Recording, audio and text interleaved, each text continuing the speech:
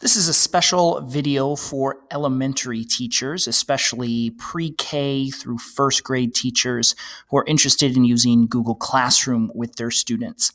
Um, I fully believe that early elementary students are fully capable of being successful in Google Classroom and the Google environment, but it does require a little bit of planning and preparation and some realistic expectations as well. So I'm going to give you some tips to help out the beginning of your school year. Now, you may want to consider holding off on introducing Google Classroom to your uh, young students until you do some basic computer uh, literacy training. Um, just making sure they understand how to turn the device on, how to you know find different keys in the keyboard, talking about the difference between upper and lowercase letters, things like that. So you may want to spend a week, a couple weeks, kind of reviewing some of those process um, before you even introduce Google Classroom. Uh, this is a fun activity here. Uh, can do some letter recognition by building a little paper uh, keyboard using a manila folder. It's uh, something you can uh, get started with. I would do all of this even before introducing the login process. Another thing that you're going to want to um, consider is um, just uh, the, the keyboard itself and even some mouse skills. Um, got some resources here that will help just with things like the shift key, space bar, volume control, uh, things of that nature. Uh, the trackpad as well, if you're using Chromebooks or laptops, um, you know, making sure that students know how to left click, right click, scroll, uh, basic things like that. There's tons and tons of different online games that you can play to teach some of those mouse and trackpad skills. Um, I'll link to those in the comments for this video. At some point in the future, once you feel that those basics are under your um, uh, or have been mastered by your students, uh, you're going to want to begin introducing the login process. And there's some tips I have for uh, making that a little more manageable. Um, first of all, I would strongly um, advise you to um, provide each student a personal Google account. Now, there's three different ways that you can access Google um, tools. You can um, do some things without an account. So, for example, I can create a Google document, give the link uh, to my students, and they can access that Google document created by me, even if they don't have their own account. That's okay, but it does really minimize what you're able to do. You certainly can't use Google Classroom. Um, there are other teachers who uh, have used a class account. So, every student is logging in with the same username and password. That is better than no account, but it also presents some limitations especially when it comes to Google Classroom, because that Google treats that as a single user. And so you're not going to be able to send assignments or track your students' work individually personal accounts where every kid has their own login is really the best way to go. And that's what I would encourage you to do, even though it does take more time for the login process. Long term, it will be very beneficial. I would encourage you to develop some type of a login card initially uh, so that your students have their username and password um, where they can copy it down, especially as they're learning this process. I'll give you access to this template here. I just did this in Google Drawing, um, and uh, students will probably need this for the first quarter or so as they get uh, signed in. Um, a little modification to that that a teacher um, showed me, which is kind of cool. Um, she went ahead and assigned a color to each row in the keyboard. So it's kind of hard to see, but the you know the top row is red, yellow, green, blue, and that corresponds to the letters um, here. So if a student says, "Oh, where's the letter you located?" They say, "All right, it's in the letter or the uh, yellow." Um, row, and that just makes it a little bit easier for them to find that particular letter on the keyboard, especially when they are uh, just getting started. So that's a little tip. Um, there's some other really great tips uh, like this um, available um, on this podcast episode here.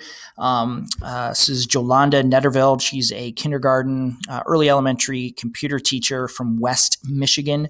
Uh, she has some just brilliant insights, including that login card. Um, you can listen to this episode if you just uh, search for the Chromebook Classroom in um, uh, Apple Podcasts, Google Play Music, Stitcher. Um, uh, you'll you'll find the episode. It's really really worth your time uh, listening to that. So we've got our login cards. We've passed those out to students. Um, and I would encourage you to set aside a day or a little bit of time for each day to participate in what I like to call the Login Olympics. It's a pretty simple uh, strategy. Um, First of all, you're going to get your students uh, seated at their desks. I would recommend getting out your Chromebooks or whatever device you're using. Um, have those devices on the desk, but uh, do not have the students sign in. And then you're going to say, all right, kids, we're going to participate in the Login Olympics.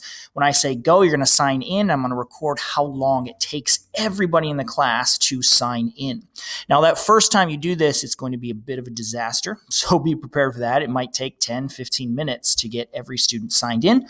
That's fine. Go ahead and write that time up up on your whiteboard somewhere in the room. We're going to be keeping these times uh, for um, many weeks.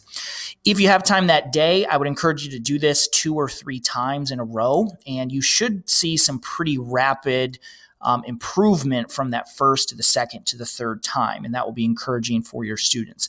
Go ahead and set a goal as a class. Um, say that you know our our class goal is to get everybody signed in in less than three minutes. Okay, so that's a challenging goal. You're not going to hit that the first day, but it gives your students uh, something to uh, to aim for, to shoot for. So every day you're going to participate in this challenge and see how fast you can get. Hopefully, those times will keep coming down. You'll just continue writing those up on the board until you hit your class goal of one minute or three minutes, whatever you decide. Um, instruct your students. Some will be faster than others. Instruct them. Say, hey, if you are able to get signed in, if you're faster at this, feel free. You know, help a friend out if they're struggling. Um, again, we want this to be a class challenge, not an individual challenge. So we succeed as a group, not as individuals. This will take some time, but over the course, certainly by uh, the end of the first semester, um, you should be you know able to get everybody or at least 95% of your students signed in. The reality is that every day you're going to have one or two kids who, for whatever reason, have trouble with this. You can help one or two students. You can't help 25 or 35 students simultaneously. So that's really the goal of, uh, of doing this. Now, there are a couple of other things that you can look into to simplify the login process at the elementary level. These are going to require um, support of your IT department. These aren't things you can do on your own. Um, there's a company called Clever that uh, offers a really nifty service where students get a little QR code like this and rather than having to type in their username and password, they just uh, hold up their QR code and it scans it, which enters their username and password for them. This is a free service for schools. There's no cost to it, uh, but you do have to integrate your systems together in order for this to work. So this is called Clever Badges. Uh, you can send that to your IT department and they can uh, look it up. Another very simple thing that I would encourage you to do is to ask your IT department to autofill your domain. Um, this only works on Chromebooks, but uh, can really speed things up. So when you sign in, you usually have to enter your username at you know myschool.org. And unfortunately, a lot of schools have very long, complicated domains. You know, it's vicksburg.k12.mi.us. That's a lot for a kid to type in. Google has the ability on a Chromebook to um, automatically enter in the at portion of the email address. So all the kid has to enter is their actual username, which is much more manageable for younger students. This can be set up in a matter of minutes, um, but you have to have access to your Google admin dashboard in order to uh, to do so that'll that'll speed things up uh, quite a bit. That's a quick list of um, ideas for improving and speeding up the login process at the elementary classroom. If you have other tips, would love to hear about them. Comment on this video. Let me know. Good luck in your class this year.